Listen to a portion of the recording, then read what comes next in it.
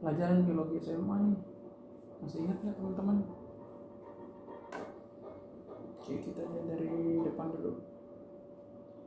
Ini apa nih? Monokotil atau dikotil? Di sini tanamannya keterangannya kartun stem batang pression cross section sayatan melintang.